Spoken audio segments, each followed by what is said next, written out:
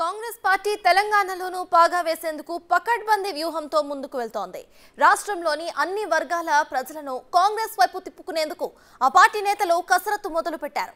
ఒకవైపు కేంద్ర రాష్ట్ర ప్రభుత్వాల వైఫల్యాలను ఎండగడుతూనే మరోవైపు కాంగ్రెస్ పార్టీ అధికారంలోకి వస్తే ఏం చేస్తామో ప్రజలు హామీలను ఇస్తూ తెలంగాణ కాంగ్రెస్ నేతలు ముందుకు సాగుతున్నారు.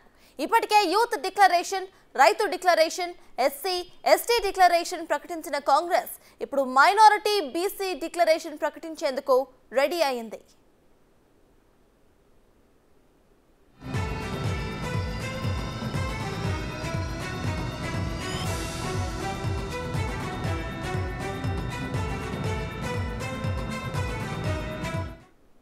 సో మొత్తానికైతే మైనారిటీ మరియు బీసీ డిక్లరేషన్ కూడా ప్రకటించేందుకు కాంగ్రెస్ పార్టీ రెడీ అయింది. ఇదే విషయంపై పూర్తి అప్డేట్స్ని మా ప్రతినిధి సాదిక్ లైవ్ uh, లో అందించడానికి రెడీగా ఉన్నారు.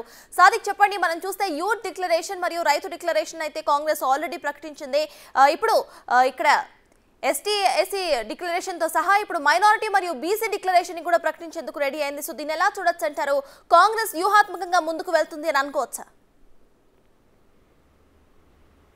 ఎస్ సత్తాస్ కాంగ్రెస్ పార్టీ చాలా వ్యూహాత్మకంగానే ముందుకెళ్తుంది. ఎందుకంటే సబ్బండ వర్గాల ప్రజలకు పూర్తి స్థాయిలో ఆర్థిక అభ్యున్నతి తీసుకొచ్చే లక్ష్యంగా కాంగ్రెస్ పార్టీ తన వ్యూహాలను పదును పెడుతుంది. అందులో భాగంగా ఇప్పటికే చాలా సంబంధించినటువంటి వర్గాలకు కూడా గత ప్రభుత్వాలు చేసినటువంటి అంశాలపైన కూడా అంటే కాంగ్రెస్ పాలితమైన రాష్ట్రాల్లో కానీ కాంగ్రెస్ యొక్క విధానం కూడా అన్ని వర్గాలను కలుపుకొని స- సకల జన సంబంధించిన అభివృద్ధి ధ్యేయంగా ముందుకు పోతుంది Congress party.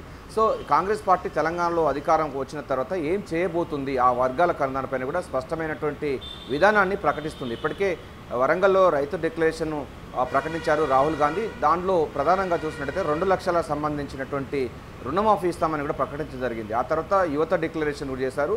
రెండు లక్షల ఉద్యోగాలు ప్రకటించారు ఎస్సీ ఎస్టీ వాళ్ళకు కూడా డిక్లరేషన్ ఇస్తారు. డి ఎస్సీ ఎస్టీ డిక్లరేషన్లో ఆ కొత్త కొన్ని కార్పొరేషన్ ఏర్పాటు చేయడం అదేవిధంగా ఐటీడీఏలు ఏర్పాటు చేసి ఆ గిరిజన అదే ఎస్సీ వర్గాల ఆర్థిక అభ్యున్నతి కోసం కాంగ్రెస్ ప్రభుత్వం వచ్చిన తర్వాత ఏం చేయబోతుందనిపైన కూడా స్పష్టమైనటువంటి విధానాన్ని ప్రకటించింది.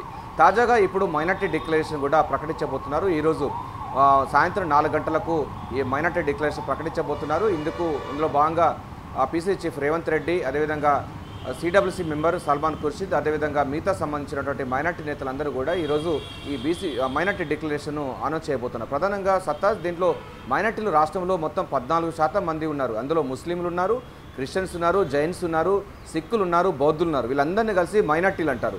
సో మొత్తం పద్నాలుగు శాతం ఉన్నటువంటి మైనార్టీలకు కాంగ్రెస్ ప్రభుత్వం వచ్చిన తర్వాత ఏం చేయబోతుందనిపైన కూడా స్పష్టమైన ఒక విధానాన్ని రూపొందిస్తుంది కాంగ్రెస్ పార్టీ. అందులో భాగంగానే మైనార్టీ డిక్లరేషన్ కూడా ఏర్పా అది డిక్లేర్ చేయబోతుంది. ఇందులో ప్రధానంగా చూసినట్టయితే ఒక ఐదు వేల కోట్లతోని సప్లాన్ చేయబోతుంది. ఈ యొక్క మైనార్టీ డిక్లరేషన్ ఉంటే. అంటే సప్లాన్ చేయడం వల్ల అంటే గతంలో ఎస్సీ ఎస్టీ సప్లాన్ ఉండేది ఆ తర్వాత తెలంగాణ రాష్ట్రం వచ్చినాక సప్లాన్ను తీసివేసి ఎస్సీ డెవలప్మెంట్గా మార్చారు. కానీ కాంగ్రెస్ ప్రభుత్వం వచ్చిన తర్వాత మాత్రం మైనార్టీల సప్లాన్ ఏర్పాటు చేసి అందులో ఐదు వేల కోట్ల రూపాయలతో ఆయా సంబంధించిన వర్గాలకు అది ఏదైతే ముస్లిమ్స్ క్రిస్టియన్స్ మైనార్ సిక్కులు జైనులు తదితరమైనటువంటి మైనార్టీ వర్గాలకు వారికి చేయూతనిచ్చే విధంగా ఆర్థిక అభ్యున్నతి చేసే లక్ష్యంగా వారికి చేయూతనిచ్చే లక్ష్యంగా ఈ యొక్క సప్లాను నిధులను మళ్ళించనున్నారు.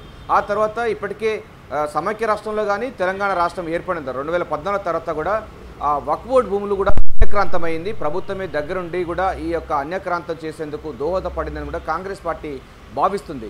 సో వక్ఫ్ భూములు కొన్ని కోట్ల రూపాయలకు సంబంధించినటువంటి ఆ ప్రాపర్టీస్ను అన్యక్రాంతమైంది. దీన్ని పూర్తి స్థాయిలో కూడా అధ్యయనం చేసి వారు తిరిగి స్వాధీనపరచుకోవడం తర్వాత దానికి రక్షణ కల్పించడం అన్నది కూడా ఈ మైనార్టీ డిక్లరేషన్లో ఉండబోతుంది. ఎందుకంటే భూమి విలువ పెరుగుతున్న నేపథ్యంలో వక్ఫ్ బోర్డు సంబంధించిన భూములు కూడా అన్యక్రాంతమయ్యాయి. దాన్ని తిరిగి ప్రభుత్వం స్వాధీనపరచుకొని తిరిగి బోర్డుకు అప్పగించేటువంటి ఏర్పాటు కూడా కాంగ్రెస్ పార్టీ చేయబోతుంది. దీంతో పాటుగా మైనార్టీలకు చేయూతనిచ్చే విధంగా చిన్న సన్నకారు సంబంధించిన పరిశ్రమకు అభివృద్ధి చేసే లక్ష్యంగా కూడా ఈ యొక్క మైనార్టీ డిక్లరేషన్ ఉండబోతుంది.